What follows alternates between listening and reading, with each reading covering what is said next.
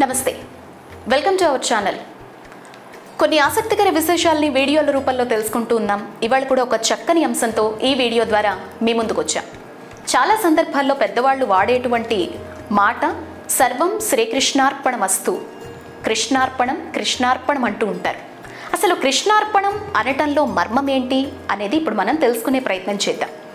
ధనుర్మాసం ఆరంభం కాగానే ఊర్లో హరిదాసుల సందడి మొదలవుతూ ఉంటుంది. ఇంటింటికి చిడతలు పట్టుకొని నారద స్వరూపంగా వచ్చి చక్కగా ఇచ్చిన బియ్యాన్ని నెత్తి మీద పెట్టుకొని పాత్రలో పోయించుకొని కృష్ణార్పణం అంటారు ఇక ఇంటి వెనకాలే ఉన్న గుడిలో ఆచార్య గారికి ఏవిచ్చినా సరే ఆయన కృష్ణార్పణమస్తు అంటారు.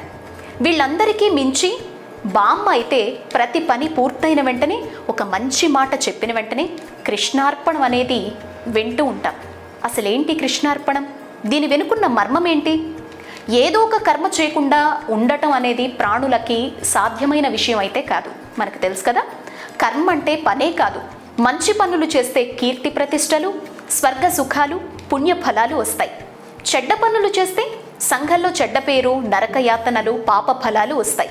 ఇలా పాప పుణ్యాలు చేస్తూ స్వర్గ నరకాలను అనుభవిస్తూ మళ్ళీ మళ్ళీ జన్మలెత్తుతూ ఈ జన్మ మరణ సంసార చక్రంలో ఉండిపోవాల్సిందేనా? లేక ఈ చక్రాన్ని తప్పించుకునే మార్గం ఏదైనా ఉందా అంటే శ్రీకృష్ణ భగవానుడు కురుక్షేత్రం అనే సంసారం వంటి చదరంగంలో జీవుడనే అర్జునుడికి భగవంతునిగా తన వాణిని వినిపిస్తూ ఒక చక్కని మార్గాన్ని బోధిస్తాడు. అర్జున నువ్వే పని చేసినా ఏం తిన్నా ఏ హోమం చేసినా ఎవరికి ఏదిచ్చినా ఏ పూజ చేసినా ఆ ఫలితం విజయమైన అపజయమైన దాన్ని నాకు సమర్పించు.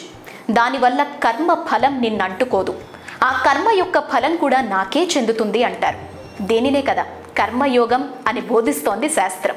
సర్వం ఈశ్వరార్పితం చేయడాన్ని ఈశ్వర ప్రణిధానం అని కూడా అంటారు. ఇది గొప్ప పర్సనాలిటీ డెవలప్మెంట్ పాయింట్ కాబట్టి మరింత జాగ్రత్తగా ఇప్పుడు మనం పరిశీలిద్దాం.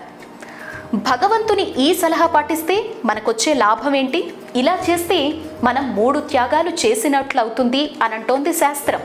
ఏంటవి? మొదటిది కర్తృత్వ త్యాగం. ఈ పని నేనే చేస్తున్నాను లేదా చేయిస్తున్నాను అనే అహంకారం వదిలిపోతుందిట. ఏ పనైనా భగవంతుడు చేయిస్తున్నాడు అనే భావనతో చేయడం అనేది అలవాటు చేసుకోవాలి. భగవంతుడు ధర్మానువర్తుడు. కాబట్టి అవినీతి పనులు చేయడం అసత్యం పలకడం చెడు మార్గాల్లో వెళ్ళటం వంటివి చెయ్యలేం.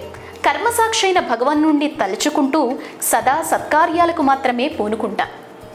ఇక రెండవది ఫలత్యాగం. నీ పని నువ్వు శ్రద్ధతో నిష్ఠతో ఎంతవరకు దానికోసం కష్టపడాలో అంత కష్టంతో చెయ్యి. దాని ఫలితాన్ని నాకు వదిలే అంటారు గీతలో కృష్ణ పరమాత్మ. అలాగే ఏం చేసినా ఇది నా కర్తవ్యం అని మాత్రమే చేయాలి అంతేగాని ఇది చేస్తే నాకు ఈ ఫలం వస్తుంది అని కోరికతో చెయ్యకూడదుట. నేనేం చేసినా దాని ఫలం భగవానుడిదే అని భగవత్ కైంకర్య రూపాలే అని నమ్మాలి.